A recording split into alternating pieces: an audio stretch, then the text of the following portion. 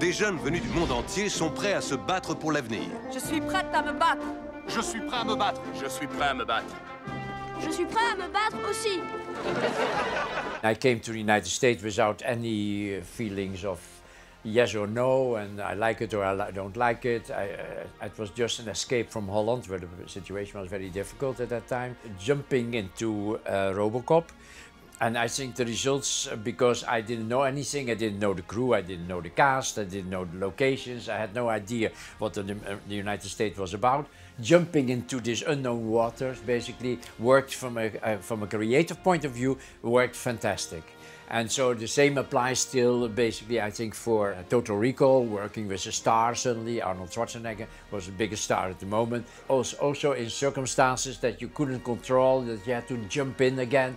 And the third one, basically Basic Instinct, had a little bit the same feeling because I had never done, um, let's say, I had not done in the United States anything uh, normal. Basic Instinct is also not normal. I mean, you could call uh, the character of Sharon Stone, you could call her basically uh, also science fiction, know. So, but it was a normal movie. It was my Hitchcock, my Hitchcock.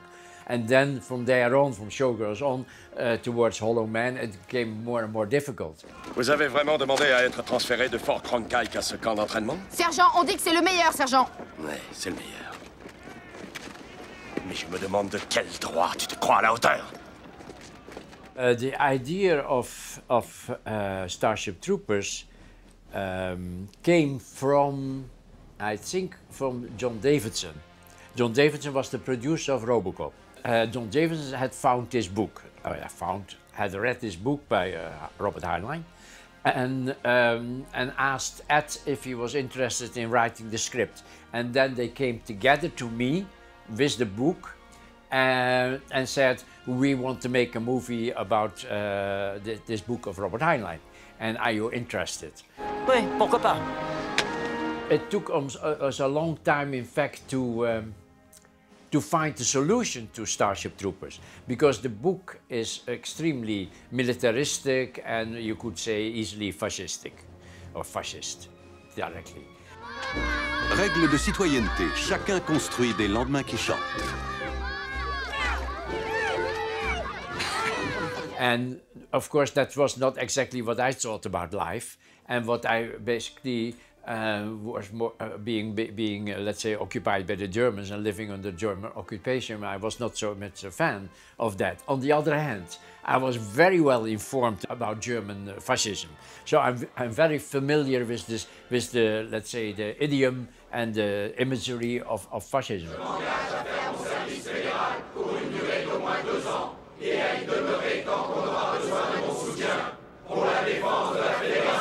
So I decided to, to use um, all these fascist symbols to point out to the public that this movie was about heroes, but in fact that these heroes are, were more, much more fascistic than you would like.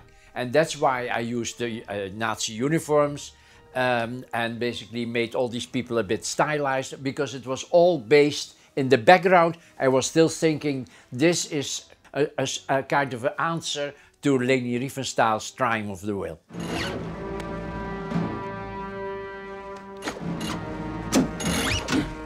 In some way, I was, of course, also responding to the general situation in the United States, of course, because Buenos Aires basically is, is not Buenos Aires. Buenos Aires is a city in, in the United States, isn't it? I mean, but we moved it away so that we could do whatever we wanted because it was not America, but we were talking about America and fascist tendencies uh, of America, clearly, that have they've been there since World War II, of course. Je vais vous dire ce que je pense. Je viens de Buenos Aires et j'ai hâte qu'ils crèvent tous. On va gagner, Rico, ouais. Ouais, mort au.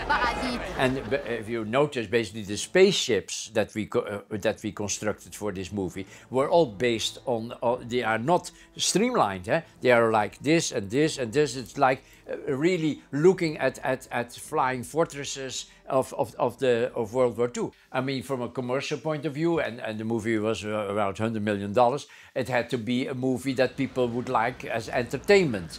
We thought that we could allow ourselves basically to do all this political stuff at the same time, seducing the audience with, with entertainment and then basically hitting them with basically what we thought this uh, was all about.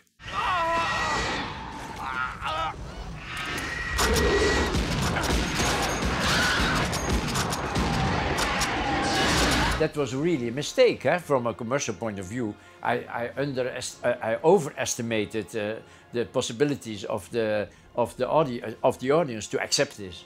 They did not. Évite de penser. That was really too far away from common sense, American common sense. I think to the degree, of course, that that we were accused, and I think it was the Wall Street Journal, not by the crit by critics. The crit critics also were, of course, pissed off, but but by an editorial article saying that this writer and this director are neo-fascist or neo-Nazis. Coupable. Sentence, la mort. Exécution ce soir à 18h, toute chaîne, tout réseau.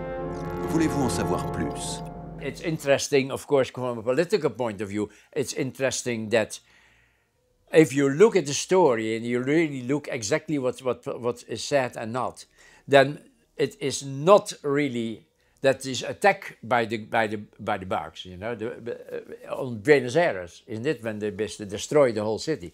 That is really not the beginning, eh? The beginning is before that. That's the Mormon colony, basically, that intrudes into other territory. Yeah, well, that is very American. Yeah. Americans have a tendency to start history where, it, where, it, where it's handy for them. Quelle salopard de merde, ces arachnides Le météore a été détourné de son orbite par du plasma parasite en provenance de Klendatu, la planète d'origine des arachnides. In retrospect, there were a lot of elements in the movie that became true, especially after 9-11.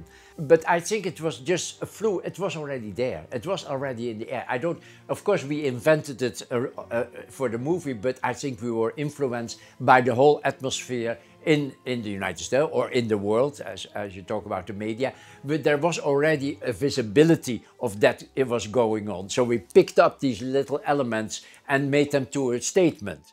Aujourd'hui, tout le monde participe. Et vous L'effort de guerre, c'est aussi votre effort, au travail, chez vous, dans votre communauté. I wouldn't call it prophetic. It, it would be more the, the, statement that artists are the antenna of, uh, of, of, of the people.